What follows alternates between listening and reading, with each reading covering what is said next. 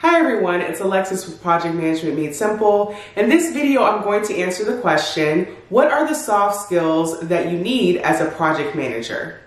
So the first skill to have here is communication. Being able to effectively communicate across the various stakeholders that are impacted by the project. So whether you're speaking to the project team who is working on a particular task and need to understand better the details surrounding that task to provide the deliverable, or you're speaking to upper level management who wants to have a clear understanding of how this, this particular project fits in line with the strategy, or you're talking to the end user or the customer and they want to know the progress of the project. They want to know what their involvement needs to be as a part of the project. Being able to effectively communicate to these various parties is going to be an asset to you as a project manager. So the next skill to have here is integrity and honesty. When we're dealing with projects, we're dealing with a lot of uncertainty at times, probably something that hasn't been done before. We're also making assumptions. And so with that, sometimes things go off track. We may go over budget. We may go, you know, past the, the schedule that we have set forth. And so being able to have the integrity to be honest about these things when you're talking to the project sponsor and when you're talking to the project team and catering that message in a way that really, um, catering that message in a way that they can interpret and then actually do something about it is another thing that's going to be an asset to you as a project manager.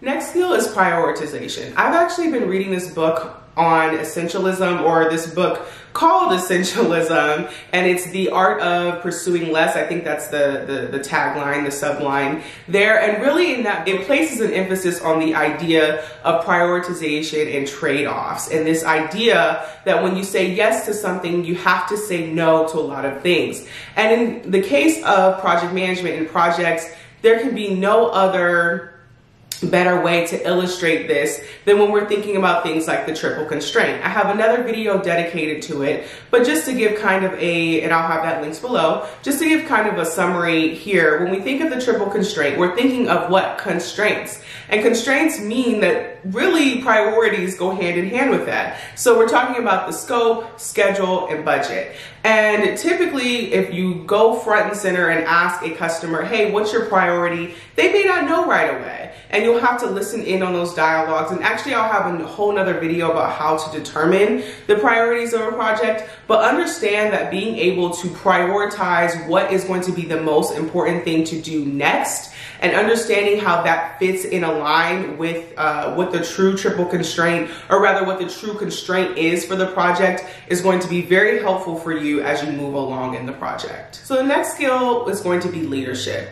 Being able to effectively communicate what the strategy is to the team, get buy-in on that strategy, and then on a day-to-day -day basis, being able to effectively remove impediments that may affect a team's progress is going to be what leadership looks like, especially in an agile environment, there's an emphasis on servant leadership. And so it's really empowering the team to make decisions on their own, you know, and being able to delegate things appropriately as a project manager, and then ultimately support them in those decisions and aid them in being able to complete the work that they have set forth.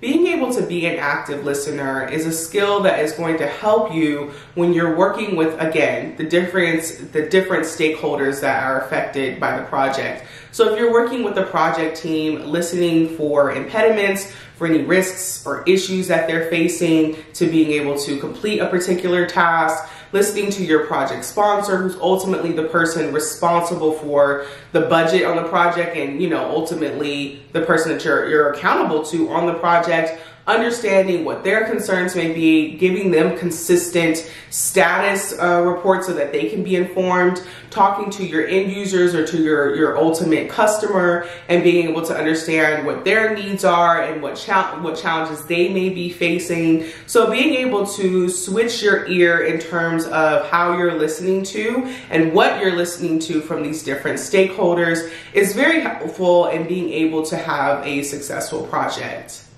Organization skills, very important. Being able to organize all of the details surrounding a project. When we think about the knowledge areas and think about the scope, the schedule, budget, quality, risks, all these different knowledge areas, we're thinking of a lot of components to a project. So being able to effectively organize these in a way such that you can be able to easily access the information if we're talking about working with the vendor. We know that we need to access, you know, our procurement, um, our procurement archive, wherever that is. If we're talking about requirements, we need to be able to access our scope archive. And you, you know, that archive may be different. You know, in my world, the archive, I'm just using archive kind of to simplify it really, is going to be JIRA for us. When we're talking about scope, when we're talking about task management, all of that is handled in JIRA. If we're talking about procurement and contracts, we have a folder structure, we have a repository that we use to house that information.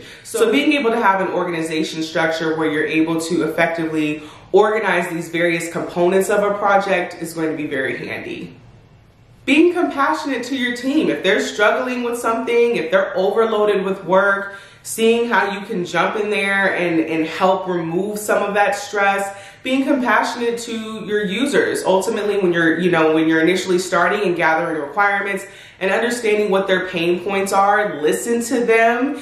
Sometimes in the software world, you can have what's called gold plating, where essentially the project team adds on a bunch of features that the customer effectively doesn't need. So being able to be compassionate and, and listen, again, going back to that active listening, listen for what the user is saying that they have issues and then working together to see how to resolve that issue together. Listening to your project sponsor. Again, this is the person who's footing the bill for this project. So, you know, you want to be able to be compassionate and understand where they're coming from, you know, in terms of their expectations and things that need to be delivered to them as well. So the last skill I would say here, and by no means is this list exhaustive, is discernment. Discernment meaning having the ability to judge a situation, kind of do a little gut check and see if that actually matches what you're being told that that situation is. So if you're working, for instance, with a vendor and they're telling you that everything's going great, ensuring that you have systems set up in place beforehand so that you can actually measure if what they're saying actually matches,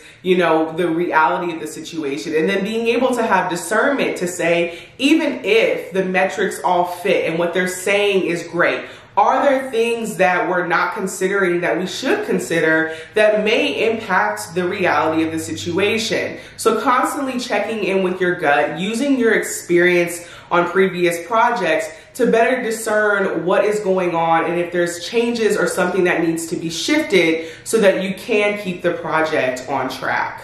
This was a video answering the question, what are the soft skills that are needed for a project manager? I hope you found this helpful. If you did, please make sure to give this video a thumbs up and I will talk to you in the next video.